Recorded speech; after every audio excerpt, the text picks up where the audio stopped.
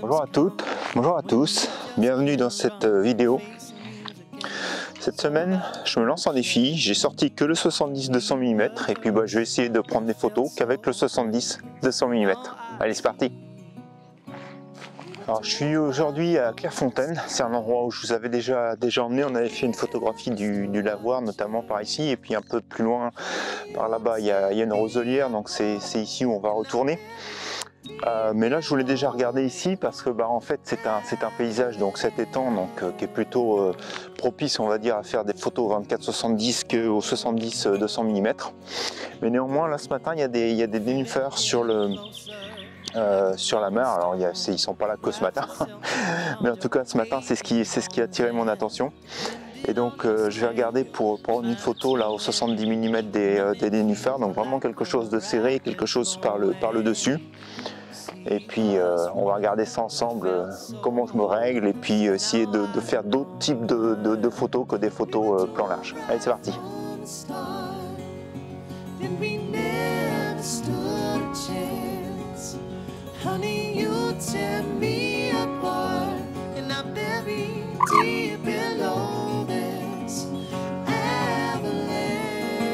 Alors voilà, je suis resté ici donc sur les nénuphars comme je vous le disais. Donc là j'ai le soleil qui se lève, donc c'est plutôt sympa puisque ça vient en partie rasante sur, euh, sur les nénuphars, donc créer certaines, certaines ombres et lumières qui sont plutôt, euh, plutôt intéressantes. Mais voilà, donc euh, comme je vous disais aujourd'hui, je suis avec le, le 70-200 mm, donc euh, pour moi l'objectif euh, c'est vraiment d'aller chercher des détails dans le paysage plutôt que de s'intéresser au grand panorama. Donc là c'est le cas ici avec, les nénuphars, donc on aurait pu imaginer pas mal de compositions avec le, le lever du soleil. Bon là il n'y a aucun nuage, hein. donc en plus voilà, comme je vous le dis toujours, hein, quand il y a des nuages dans le ciel c'est toujours un petit peu plus intéressant pour amener de la texture. Ici on est vraiment avec un ciel beau- très On a cette brume euh, sur, euh, sur la mare, donc qui est quand même intéressante. Mais voilà, en fait, l'i- l'idée, c'est vraiment d'oublier tout ça, d'oublier tout ce qu'on pourrait faire avec un, grand angle, et puis de regarder avec le 70 mm, aller chercher des éléments dans le paysage. Alors, je dirais que la, démarche, elle est la même. C'est-à-dire que euh, si j'étais venu faire un, grand panorama, il y a, des points qui m'intéressent, donc c'est- toute la mare dans son ensemble, mais forcément, euh, les nénuphars euh, sont un point intéressant. Vous, vous l'avez vu sur les premières images que j'ai fait en arrivant. Je me suis mis bas et je me suis mis pour avoir les nénuphars et la mare avec la, la brume. Et donc toutes ces, nénuphars, c'est vraiment un point, un point d'intérêt. Donc du coup, parti de ce constat, j'ai tourné autour et j'ai regardé ce que je pouvais faire finalement avec un 70-200 mm, uniquement en m'intéressant sur, sur les nénuphars. Bah, puis finalement, c'est relativement simple. Donc vous voyez ici avec ce que je suis en train de filmer, et ben je me concentre directement sur ces deux feuilles de, de nénuphars. Et puis bah après, avec mon 70-200, j'essaye de cadrer pour, pour me rapprocher. Et puis, et puis bah voilà, on, fait vraiment une image, somme toute, toute simple. Minimalisme avec très peu de choses, l'eau et deux feuilles de nénuphar. Alors je vous avouerai que la position idéale, elle aurait été d'être un petit peu plus euh, sur le dessus pour être complètement, euh, complètement à la verticale. Donc du fait de cet angle, vous comprenez bien qu'entre le début de l'image et la fin de l'image, il y a une légère euh, différence de, mise au point. Bon, je suis relativement loin là de, mon sujet, donc je vais quand même pas avoir de- trop de flou, donc je vais pouvoir le faire en une seule image. Ce que je vais faire, c'est que je vais sécuriser. Alors, je vais pas non plus aller chercher un diaphragme de F8. Donc là, je me suis mis avec un diaphragme de 5-6 de mémoire. Oui, c'est ça, 5-6. Donc ça suffit, euh, ça suffit largement. Au niveau de la distance de mise au point, euh, je suis, je suis, euh, toc. Je suis à 2 mètres, euh, 2 mètres 10. Donc du coup 5, 6, 2 mètres 10, euh, là je vais quand même avoir euh, des, des différences de des profondeurs de champ pardon qui vont être supérieures à 10 cm. Donc du coup je suis largement largement couvert. Et puis bah voilà. On va prendre l'image comme ça, donc la vitesse bah, elle sera ce qu'elle sera, très honnêtement euh, c'est pas trop un sujet, je vais rester en ISO 64, euh, j'avais une vitesse de 1 cinquantième mais là elle est en train de bouger. Donc ce sera probablement un petit peu plus, un 60, un, un 80e avec la, la lumière qui monte, et puis bah, c'est parti pour l'image. Allez on regarde ça ensemble.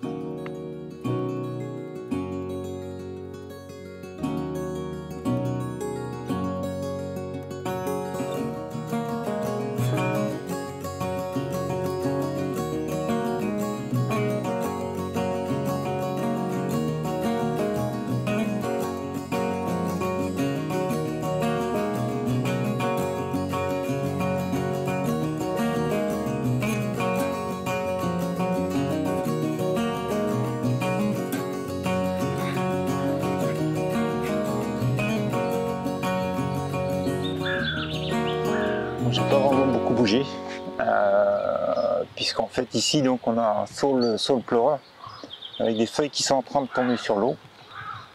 Et donc euh, je vais m'intéresser donc à cette partie en fait au, niveau du reflet euh, des feuilles qui sont dans l'eau et donc leur reflet dans l'eau avec au premier plan quelques quelques nénuphars donc comme vous pouvez voir ici sur sur la caméra donc je sais pas alors effectivement ici sur la caméra laissez-moi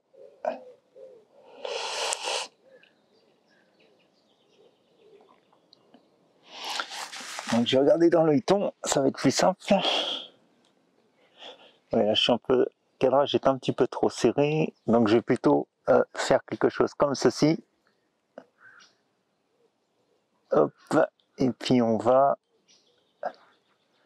légèrement descendre pour avoir un petit peu les nénuphars au premier plan.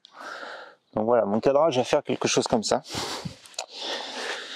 Euh, et puis euh, et puis bah voilà, en fait, on va on va jouer vraiment sur cet élément unique, sur cet élément euh, simple des feuilles et de leur contact dans l'eau et pas l'ensemble de l'arbre euh, au complet. Donc euh, ici, là, je suis arrivé maintenant, ouais, je suis un petit peu plus de 70 mm, je vais être au 60, ouais, 80 on va dire. et puis bah voilà, on va s'intéresser à ce sujet-là. Alors vous voyez en arrière-plan, j'ai quand même des choses qui sont plutôt gênante. Donc je vais me, limiter à un diaphragme probablement là encore une fois de, de, 5, 6, 6, 3, quelque chose comme ça pour flouter l'arrière-plan. Euh, et puis bah après je vais, euh, je vais prendre ma photo avec encore une fois hein, la vitesse qu'il y aura. Euh, dernier petit point, donc vous voyez il y a énormément de brillance qui sont créées par le soleil qui est juste sur le côté. Donc ce que je vais faire c'est que je vais monter mon filtre polarisant pour essayer de retirer un peu ces brillances et puis on, va regarder ensemble ce que ça donne la, différence. Bon voilà, j'ai mis mon filtre polarisant, j'ai fait des essais, donc c'est effectivement euh, bien flagrant. Donc je vais euh, mettre à la caméra, donc je vais faire tourner le filtre. Alors moi je ne veux pas bien voir, mais je pense que sur l'image vous allez voir correctement. Mais vous voyez les effets en fait euh, sans le polarisant, sans l'effet polarisant et avec l'effet l'effet polarisant. Donc vous voyez les différences en fait de brillance euh, sur le feuillage et donc ce feuillage qui devient un petit peu plus un petit peu plus vert saturé. Donc je crois que ça devait être quelque part par là l'effet euh, l'effet polarisant. Alors là, quand on a l'effet de côté, hein, vous voyez, j'étais obligé de, retirer mon pare-soleil, ce qui fait que quand je vais prendre la photo, je vais masquer un peu sur le côté, ici, probablement avec ma casquette d'ailleurs, euh, parce qu'en fait, ça va éviter le, soleil qui est sur le côté de venir frapper euh, mon, verre et puis de créer parfois quelques, quelques reflets. Donc voilà, donc on est plutôt plutôt bon là maintenant. Donc euh, comme je vous disais, hein, je vais prendre un diaphragme aux alentours de, de 6.3 euh, je ferai un essai carrément avec le, diaphragme, je crois que je peux descendre à 2.8 avec cet objectif là, je, ouais c'est ça 2.8 donc je prends une photo aussi de 8 pour essayer de bien flouter cet arrière-plan qui, euh, qui me gêne un peu et puis vraiment de garder toute la netteté sur la partie qui m'intéresse, c'est-à-dire les feuilles et même les nénuphars sur le devant, j'ai pas forcément besoin qu'elles euh, soient nettes. Je suis plus je suis plus dans quelque chose déjà du, du, début de flou pour nous amener vraiment sur le sur le reflet en fait euh, des branches du sol et puis le reflet dans l'eau. Pardon. Voilà, c'est parti, on prend l'image.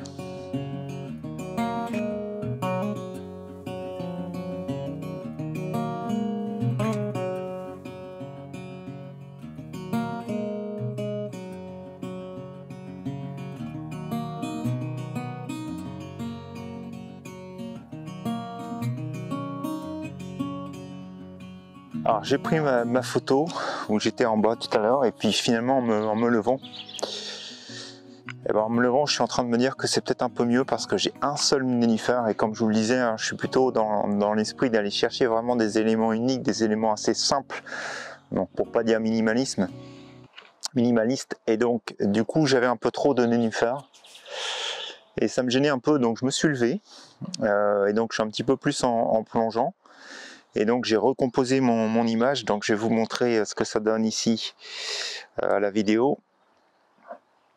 Donc vous voyez, donc avec uniquement un, seul, un seul nénuphar sur le, sur le premier plan. Et je trouve que ça a quelque chose de, plus sympathique. Alors là, même s'il n'y a pas beaucoup de vent dans les, dans les feuilles, Donc euh, j'ai quand même énormément de, petites vaguelettes. Donc je suis en train de me demander si je vais pas faire plusieurs images. C'est-à-dire que là je vais composer l'image telle qu'elle est actuellement.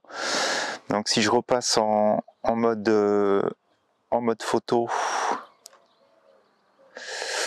Donc euh, je vais me mettre avec mon, mon diaphragme de 5-6 ce qui va me donner une vitesse du 1 60e mais je voudrais vraiment essayer de descendre ma, vitesse. Donc je vais prendre un, filtre neutral densité que je vais rajouter à mon filtre polarisant pour essayer de descendre un petit peu plus ma vitesse et donc de lisser un peu la surface de l'eau, de l'avoir un petit peu plus un petit peu plus lisse, euh, en espérant que ça va pas trop euh, atténuer le reflet. Donc voilà, je me mets en position, donc on va faire une première image, donc ici à ISO 64 f5.6 et 1 60e de seconde, et puis après on va refaire la même image avec un filtre euh, euh, neutral densité euh, gris pour descendre au moins de 1 ou 2 stops la luminosité et donc la vitesse. Je vais y arriver.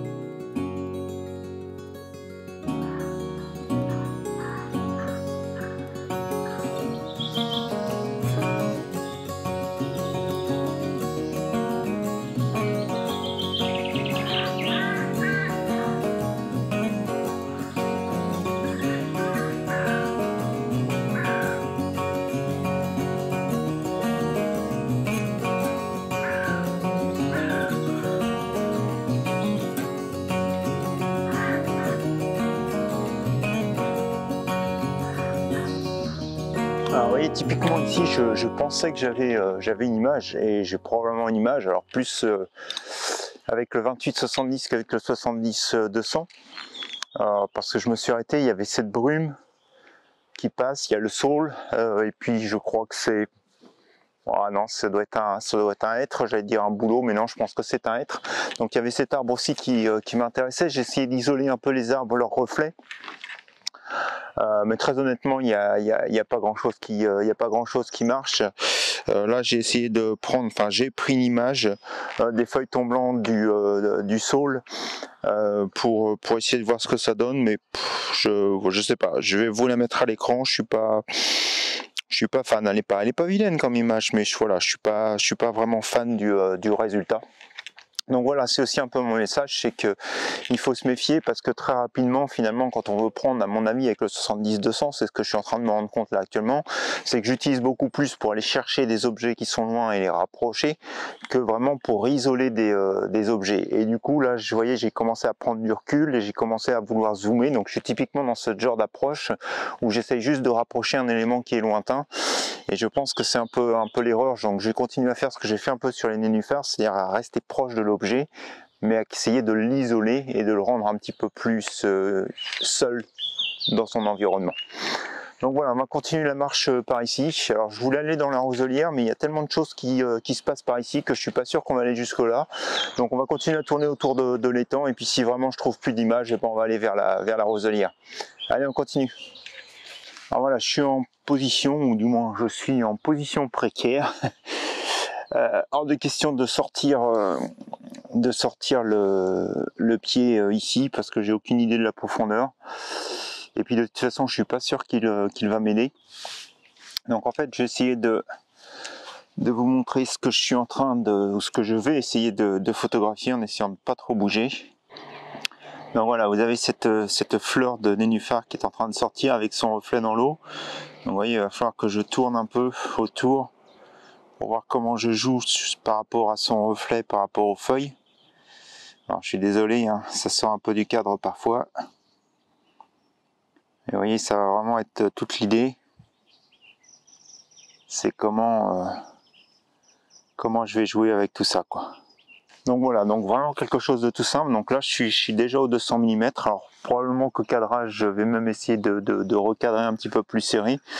Pour éviter en fait les, euh, les zones on va dire vides, hein. les zones, les zones qui sont qui sont toutes toutes blanches, enfin qui vont être toutes vides de, feuilles de nénuphar tout autour.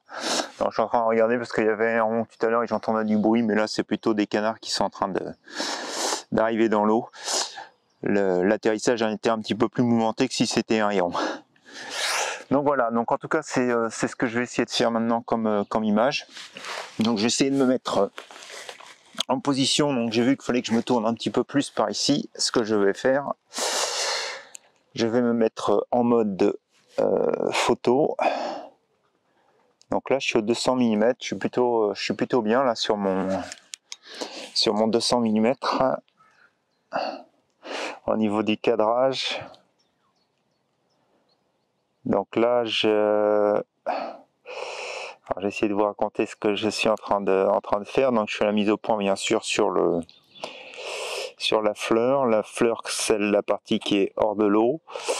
Euh, maintenant sur le cadrage, donc j'ai effectivement les feuilles de nénuphar autour. Je vais mettre alors sur la gauche, j'ai la feuille de nénuphar qui est un petit peu euh, un petit peu abîmée. C'est ça qui m'ennuie.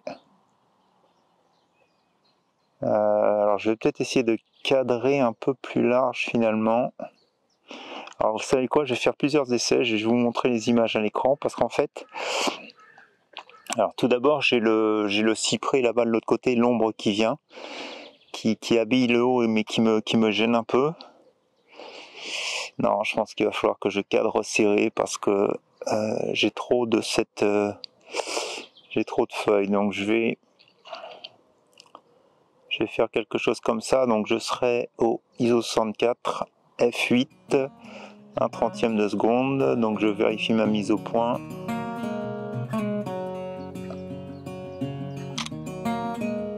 Et voilà l'image est dans la boîte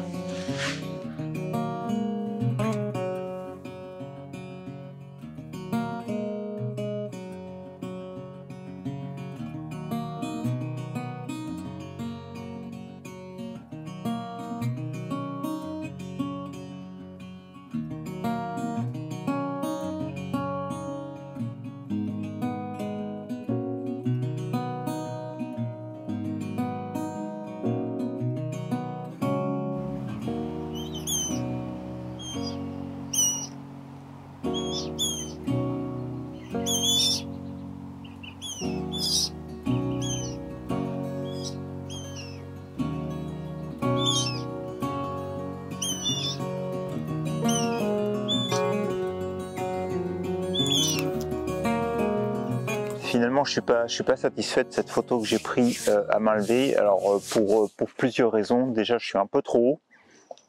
J'étais un peu trop haut. le cadrage que j'avais fait en portrait, finalement, je trouve que ça marche pas très bien. Vous avez vu l'image. Euh, je pense que c'est trop isolé. Donc en fait, ça pourrait être une bonne image si finalement je n'avais que cette fleur et que le haut, du moins c'est mon sentiment avec le reflet, et vraiment pouvoir être beaucoup plus beaucoup plus proche, donc probablement plus que le 200 mm ou recadrer après. Et puis euh, donc en fait en bougeant, euh, je, me suis dit que c'est mieux finalement que j'inclus quand même un peu de feuilles. Comme à côté il y a une feuille avec de l'eau dessus, bah, je trouve que c'est que c'est plutôt bien. Donc là, je vais vous montrer un peu en vidéo ce que ça donne. Donc ça donne quelque chose comme ça. Euh, et là, je trouve qu'on a quelque chose de beaucoup plus intéressant. Alors, du fait que je, suis bas, donc finalement, j'ai augmenté un peu cette distance entre le premier plan, la fleur et l'arrière-plan. Donc, au niveau de la profondeur de champ, cette fois-ci, là, je vais monter carrément sur du, euh, sur du F11. Euh, et puis euh, ce que je vais euh, ce que je vais faire finalement, c'est vous l'avez vu, il est installé là, c'est mettre le filtre polarisant aussi parce que j'ai beaucoup de reflets. Donc je trouvais que c'était pas génial sur sur la première image. Donc là avec le filtre polarisant, je vais retirer beaucoup.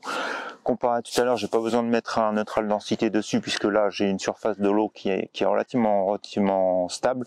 Bon devant j'ai quelques branches, donc au moment où je vais déclencher, je vais quelques branches, quelques feuilles d'herbe. Donc au moment où je devais déclencher, je vais juste les, les pousser un pour qu'elle ne soit pas dans mon cadre. Et puis voilà, bon, j'ai mon image. Donc là, si je repasse sur le euh, sur le format photo, donc comme je vous annonçais, hein, on va être sur du F11. J'ai du 1 huitième de seconde à ISO 64 avec la mise au point donc sur le Euh, sur la feuille de nénuphar. Donc euh, j'avais fait mon image, je vais juste vérifier que je suis bien. Enfin j'avais fait mon image, j'avais fait ma mise au point. Mais comme j'ai touché pas mal de choses, donc la feuille, la fleur pardon, est nette. Elle est nette. Donc au niveau de par contre comment ça se passe sur vérifier? Donc là, je vous ai disais, hein, j'avais pris un diaphragme de F11. Je vais vérifier, mais mon eau sur la feuille à gauche, c'est bien, bien net. Bon, la feuille un petit, un petit peu moins. Un petit peu moins. Je vais peut-être essayer de refaire une, deuxième image. Je vais faire deux images avec les trois feuilles de nénuphar et la fleur. Euh, juste au cas où, mais en tout cas, normalement, je pense que ce que je vois ici avec une seule image, ça devrait être bon. Alors, c'est parti on va prendre la première image sur la feuille de nénuphar. Ah, j'ai oublié de coucher les herbes, donc on a bon. On n'a plus qu'à recommencer.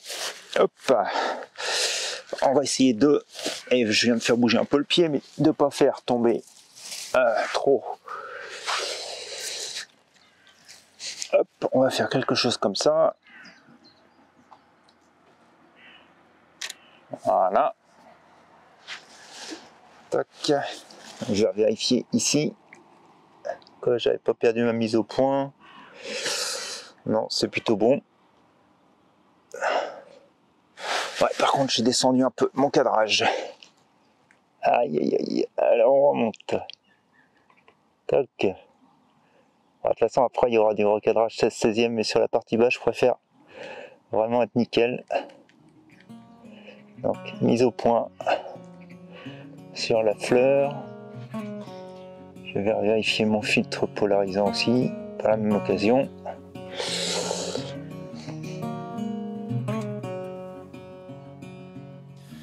C'est parti, donc sur la fleur.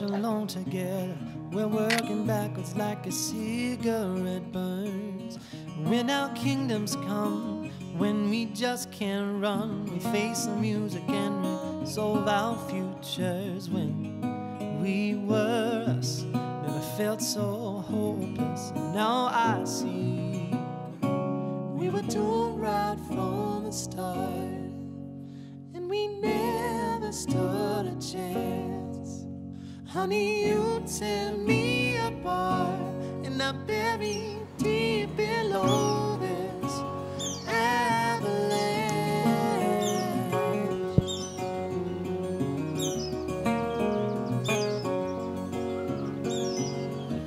this is sweet forever. We march along together. We're working backwards like a cigarette burns. Bon bah écoutez, filmer, photographier au 70-200 mm, c'est pas aussi, aussi évident que je le croyais d'ailleurs, je sais pas si je croyais que c'était vraiment euh, évident, mais en tout cas par rapport au type de photos que je voulais faire, c'était pas, euh, pas forcément facile. Alors j'ai été gâté quand même euh, ce matin parce qu'entre le brouillard, l'absence de vent, finalement cette luminosité, donc c'était plutôt quelque chose de, sympathique et qui m'a aidé dans le, dans le choix et dans le fait de pouvoir trouver des compositions à prendre. Mais en tout cas, voilà, c'est assez compliqué le 70-200 mm, donc euh, très honnêtement, ça demande beaucoup de pratique. Ce que je retiens de, cette sortie, c'est vraiment, comme je vous disais au début, donc euh, de continuer à réfléchir comme on faisait avant et de, regarder qu'est-ce qui est intéressant dans le paysage et qu'est-ce que j'ai envie de photographier. Et après, il faut faire attention de ne pas trouver finalement dans la facilité de se dire, bah, je m'éloigne du sujet juste pour le rapprocher. Non, l'idée, c'est vraiment de pouvoir euh, minimiser son cadrage pour avoir vraiment un, très peu d'éléments dans l'image. Et, et, ça, c'est vraiment ce qui a été difficile pour moi. Euh, et ce que je me suis rendu compte aussi, c'est qu'en fonction, comme on l'a vu ici sur le nénuphar, de, la hauteur finalement où je me trouve par rapport au sujet, on a des images qui sont complètement différentes. C'est encore plus euh, flagrant qu'avec avec le 24-70, donc vraiment l'angle euh, à lequel on va prendre la photo va avoir une influence euh, importante sur le résultat final. Alors après, euh, encore une fois, hein, qu'est-ce qui est mieux, qu'est-ce qui est moins bien, ça c'est à vous de décider, mais en tout cas, euh, faites des essais parce que franchement, la, hauteur donne des images complètement, complètement différentes. Alors pour moi, ça va être bientôt les, vacances. Contrairement à l'année dernière, je vais pas, je vais pas vous laisser sans vidéo. Par contre, on va faire des vidéos, je vais faire des vidéos sur des formats beaucoup plus courts, donc pas forcément les formats en short hein, de YouTube en vertical, mais je vais rester sur du paysage. Par contre, je vais faire des vidéos qui vont pas durer plus de 5 minutes Et puis on va avoir beaucoup de, beaucoup de, techniques photographiques, alors aussi bien à la prise de vue qu'au développement, sur des formats très courts pour s'intéresser à tel ou tel outil, les modes d'exposition, les modes automatiques de, de, prise de photos, euh, les éléments dans Lightroom, les caches dans Lightroom, toutes ces choses-là. Donc on va vraiment essayer de, partager tout un tas de petits tutos qui vont être relativement courts et puis qui vont finalement euh, nous emmener tranquillement bah, vers la rentrée. Donc je pense que d'ici euh, d'ici bah, là maintenant, hein, la, fin juillet, jusqu'à la fin août. Donc vous allez avoir ce genre de vidéos, des formats plus courts, probablement un petit peu plus d'une par semaine. Ça va vraiment dépendre euh, à la cadence à laquelle je vais pouvoir euh, filmer tout ça. Et puis donc monter aussi tout ça puisque j'aurai pas tous les outils habituels pour faire, pour faire les montages. Probablement aussi un peu plus de, voix off. Donc voilà, je vous laisserai découvrir la façon dont je vais, je vais arranger tout ça. Mais en tout cas sur, les, sur, le, sur le contenu, ça va être exactement ça. Donc des, des petits tutos photos. Et puis de toute façon, on se retrouvera au mois de septembre ou peut-être un petit peu plus avant euh, pour reprendre notre rythme habituel d'une vidéo euh, tous les dimanches. Voilà, c'est fini pour la vidéo d'aujourd'hui. J'espère que vous l'avez aimé. Si c'est le cas, un petit pouce en l'air. N'hésitez pas à partager, à commenter. Et puis il ne me reste plus qu'à vous souhaiter une bonne semaine, de bonnes vacances. Et puis on se dit à bientôt pour de nouvelles expériences photographiques. Allez, au revoir